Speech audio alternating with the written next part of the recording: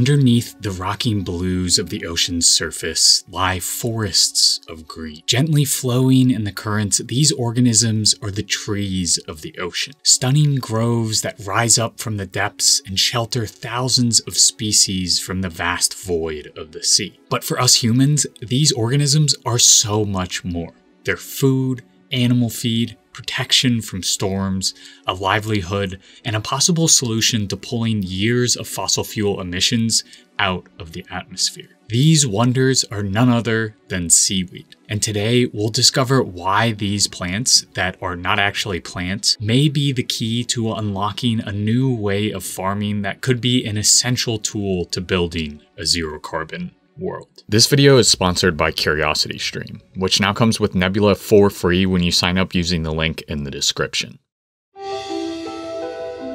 Over the last decade, entrepreneurs, fisherfolk, and thought leaders have latched onto the promise of seaweed farming with exuberance. Nonprofits like Greenwave and for-profit entities like Sea6 Energy have emerged to encourage and fuel a seaweed farming boom in the United States and more broadly the Americas and Europe. What they claim is, on the surface, extremely promising. A thriving seaweed farming system that supports the livelihoods of thousands of coastal communities, restores ocean habitats, and for many, the most important bit, sequesters millions of tons of carbon out of the atmosphere. This is the promise of the nascent blue carbon industry. We'll get into whether seaweed farming lives up to this hype in a little bit, but before we do that, what do seaweed farms actually look like on the ground? Luckily, countries like China and Indonesia have been farming seaweed for almost 1,700 years. So we can already see what this blue carbon aquaculture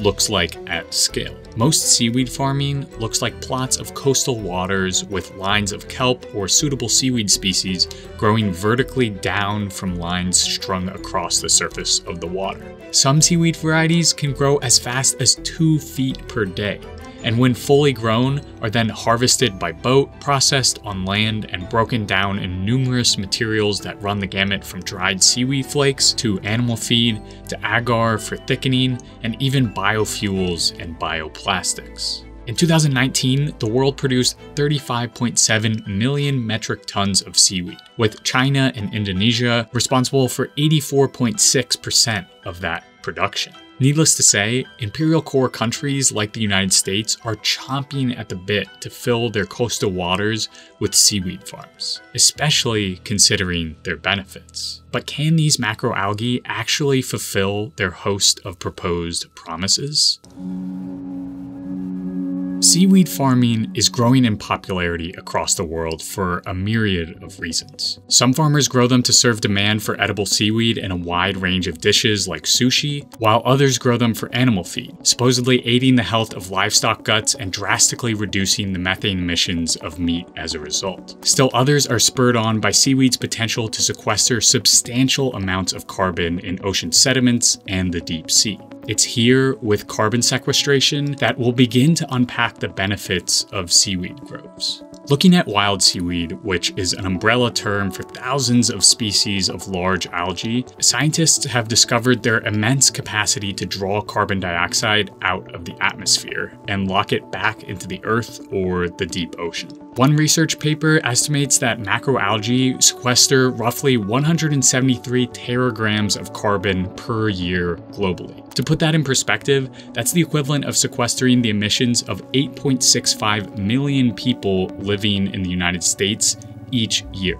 And looking towards seaweed aquaculture, this paper claims that a square kilometer of seaweed farm could sequester 1,500 tons of CO2 every year, which would be like reversing the footprint of 300 people living in China or 75 people living in the US every single year.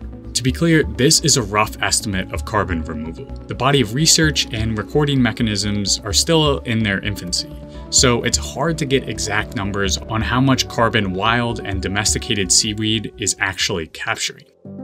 That being said, there are a host of other benefits that seaweed provides to coastal ecosystems. Seaweed farms, when introduced, have provided rich habitats for sea life, deacidified their surrounding waters, created storm and flood resilient coastlines by buffering wave energy, as well as provided oxygen-rich oases in oxygen-deprived zones. These are all exciting prospects. Along the Chinese coast, for example, seaweed farms introduced near dead zones successfully mitigated deadly toxic algal blooms, while farms off the coast of Costa Rica noticed that the cultivated seaweed rapidly attracted biodiversity. But part of the reason seaweed aquaculture is so appealing is that it requires few inputs and seaweed grows incredibly fast. You don't need fertilizer, herbicides, or pesticides, and seaweed mostly takes care of itself, which means that an ocean farm is comparatively easier to start and maintain than its on land cousin. In short, seaweed farming, if done right,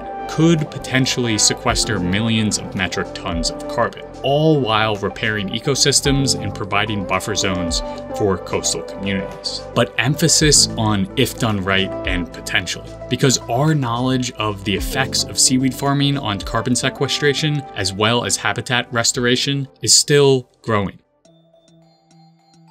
A quick Google search of seaweed farming reveals a lot about the excitement over the potential of this carbon sequestration powerhouse. Articles like this or this feel like 19th century gold rush promoters of the American West. That much hype raises alarm bells for me, especially considering this recent scientific paper that has called into question seaweed's potential for carbon sequestration. It points out that previous studies have failed to account for the contribution of the influx of organic material and plankton that wash into wild seaweed groves, providing extra food for sea life and ultimately leading to significantly more carbon dioxide emissions. The paper claims that as a result, wild seaweed forests might actually be a net source of carbon. I use this paper not to discount seaweed sequestration wholesale, but merely to demonstrate that research on these practices are extremely new and evolving. We are still in the midst of parsing out exactly how wild seaweed